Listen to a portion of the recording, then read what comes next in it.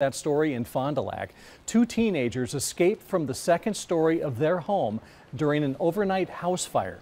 We first told you about it this morning, the fire happening in the 100 block of West Division Street. And that's where we find our Jason Zimmerman to explain what saved these girls. So, Jason, what'd you learn of today as far as how this all unfolded?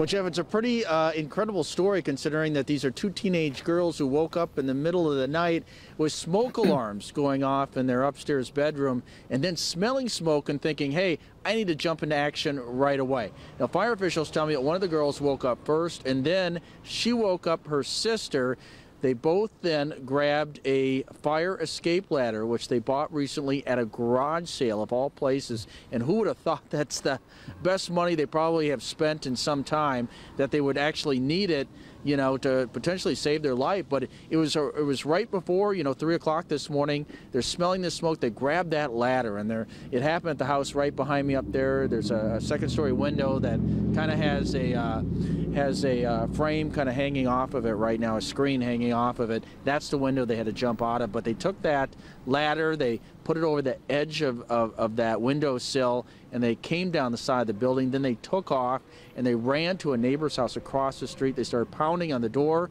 The neighbor, waking up in the middle of the night, was wondering what's going on here. She calls 911.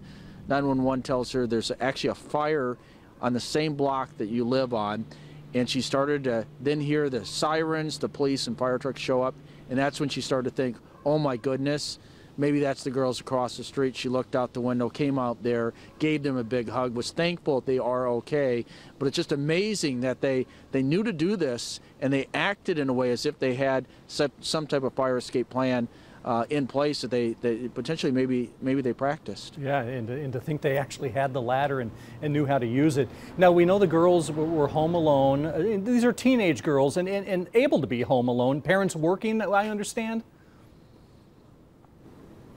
Yeah, I'm told that the parents were both working uh, third shift jobs, and uh, when they got the call from fire officials, found out their house was on fire, came racing back here to check at the scene. The neighbor tells me that the mother was pretty shaken up, but um, she was comforted knowing that her both her daughters made it out alive, and that uh, firefighters when they came here, there were flames on the lower level. They had to rescue uh, several pets, uh, including three dogs and a bunny, from the first floor um, going in there when there were flames and smoke to pull those animals out. Two of the dogs had to be revived by first responders, but other than that, everybody made it out. Oh, a very happy ending. Jason, thank you very much. Jason Zimmerman live in Fond du Lac.